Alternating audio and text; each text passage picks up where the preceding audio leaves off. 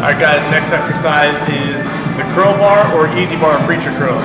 You can use any of the easy bars at your gym or you can use the stereotypical curl bar.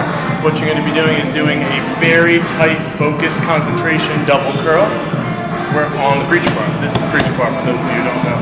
You're going to be putting your elbows down, bracing your elbows, extending your arms fully until the front of your forearms touch, and then pulling the whole way back up using your biceps.